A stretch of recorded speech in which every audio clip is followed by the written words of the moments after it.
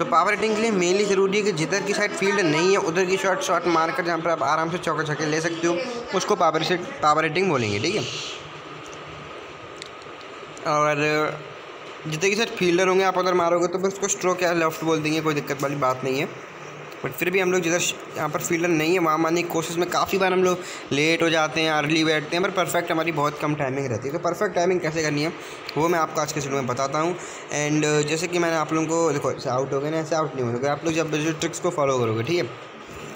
और मेरे चैनल में से अच्छी वीडियोज़ आती रहती हैं कैसे आपको पता ही होगा, हमने बैटिंग टिप्स वाली वीडियो भी आपको दे रखी थी। तो अभी मैं आपको बताता हूँ, देखो, इसके लिए आपको सबसे पहले तो डब्ल्यू सी सी टू के अंदर प्रैक्टिस मोड जो है ना, उसको आप लोगों को जाना होगा और वहाँ खेलना होगा, ठीक है? जब आप उस मोड को जाकर खेलोगे यानी अपना हाफ़ एन आवर आधा घंटा अगर दिन में देते हो उस चीज़ को देन आपकी जो बैटिंग होगी ना, वो एकदम परफेक्ट हो जाएगी, ठीक है? और अगर आपको जल्दी जल्दी आप करना है और आप लोग किसी टूर्नामेंट में नहीं हो मतलब दोस्तों चैलेंज लगा बैठे हो एंड उसके बाद आपको ये आधा घंटे बताने का आपका टाइम नहीं है और आपको फिर भी अच्छा खेलना है तो आपको क्या करना है, वो मैं आपको बताना चाहता हूँ। तो वो भी मैं आज के शुरू में आपको बता दूँगा, आप लोग चिंता मत करो। तो अभी मैं आप लोगों को बताता हूँ जैसे कि आप लोगों का टाइमिंग काफ़ी अच्छा नहीं है तो आप लोगों को किस तरीके से खेलना है? तो सिंपली आपको लॉफ्ट को जो है वो इनेबल नहीं करना है, उसके बाद ऐसे खेलना है। स्ट्रोक खेलने हैं। लॉफ्ट इनेबल मत करना, ठीक है? बाउंड्री फिर भी जाएगी, चिंता मत करो। बट लॉफ्ट इनेबल मत करना, अगर आपके विकेट ज़्यादा गिर रहे हैं ना, आपकी टाइमिंग काफ़ी ख़राब हो चुकी है तो। और हाँ एक बात और, जब भी खेलो ना, अपना नेट ऑफ़ करके खेलना। अगर आप लोग मल्टीप्लेयर मोड नहीं खेल रहे हो तो कोई मैच खेल रहे हो तो टेस्ट मैच खेल रहे हो तो नेट ऑफ़ करके।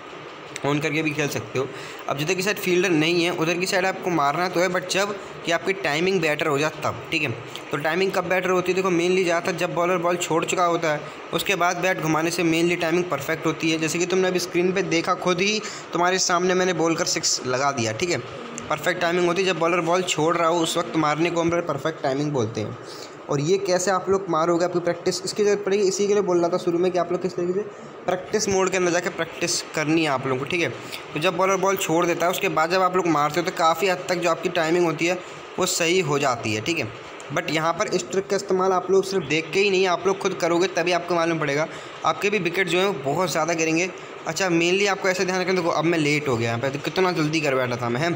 इसी के लिए मैं अगर आपको प्रैक्टिस मोड पे करना ही पड़ेगा, ठीक है? ये आप लोगों को ध्यान रखना है। तभी आपकी जो बैटिंग होगी, एकदम बहुत प्रो लेवल की और काफ़ी ज़्यादा बढ़िया बनेगी।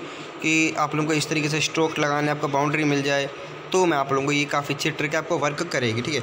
और आपको अगर छः बॉलों पर छः छक्के मारने हैं तो आप लोग मेरा ये वाला वीडियो देख सकते हो, जाकर मैं आपको आई बटन पर लिंक दे दूँगा फिर डिस्क्रिप्शन में आपको मैंने लिंक दे दिया है। उस वीडियो के अंदर आप लोगों को बहुत अच्छा रिस्पॉन्स आया था इनका इस वहाँ पर काफ़ी सारे लोगों ने लर्न भी किया था कि आप लोग किस तरीके से छः बॉल पर छः छक्के मार सकते हो, ठीक है? और वो भी आप लोग आराम से किसी भी बॉलर के खिलाफ कोई रिक्वायरमेंट नहीं है, चाहे बॉलर कैसा भी हो, ठीक है? मैंने उसमें आपको मार के दिखाए थे जब प्रैक्टिकल देखे। तो अभी देखो, जब आपकी टाइमिंग आप बेटर तो आप कर ही लोगे, आप लोग वहाँ से खेल के प्रैक्टिस मोड अब मान लो कि आपको जल्दी से खेलना है जिसके बालने के बाद आपको मारें तो आप लोगों को क्या करना है? तो भाई, आपको पहले दो तीन बॉल जो ना सिंगल्स निकालने हैं, ठीक है? ध्यान रखना सिंगल डबल ही खेलना है।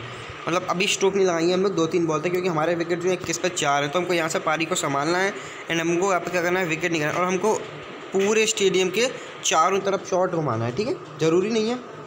कि आप लोग एक ही साइड में लगे रहो फील्डर नहीं है तो ठीक है?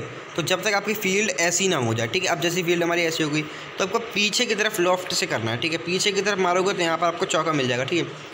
अब जब तक आपकी बैटिंग जो स्किल हंड्रेड ना हो, तब तक तो आप लोग कोशिश ही मत करो। अगर आपकी बैटिंग स्किल काफ़ी कम है, उसमें डब्ल्यू सी चुके हैं तो आप मुझे कमेंट बॉक्स में ज़रूर से बताना आपको वहाँ बता दूँगा। बट ऐसी फ़ील्ड हो तो आप लोग कोशिश करोगे दैन आप लोग आउट होने के चांस ज़्यादा होंगे। तो जब भी आपको अटैकिंग फ़ील्ड लगे कि भैया अब मैं किधर मारूँ देन आप लोग आराम से सिंगल डबल फिर से खेलने लग जाओ, क्योंकि आपको देखो रनस आने इंपॉर्टेंट होते हैं। भले वो कैसे भी आए, वो तो बाद रनस आने चाहिए, ठीक है? बॉलर तो वाइड नहीं फेंकेगा हमेशा। ठीक है, अभी देखो यहाँ पर एक फिर से मिचल स्टार्क मतलब बॉलर है। अब देखो काफ़ी ज़्यादा लोग ऑफ़ साइड पर मारने के चक्कर में ना आउट हो जाते हैं। भाई देखो ये बात बिल्कुल सही है कि ऑफ़ साइड में जब भी आप लोग मारने जाओगे, आप लोग आउट हो जाओ क्योंकि वो फ़ील्ड ज़्यादा बड़ा होता है एंड एक राइटी के लिए वहाँ मुश्किल होता है रियलिटी और यहाँ पर गेम के अंदर भी। तो यहाँ पर आपको मेनली पता किस चीज़ का ध्यान रखना मैंने आपसे बताया, जैसे कि आप लोग को जब बॉल बॉलर हाथ से छोड़ रहा हो, तब मारोगे तो ज़्यादा चांसेज होंगे कि आपका स्ट्रोक सिक्स या फोर में तब्दील हो पाएगा, ठीक है?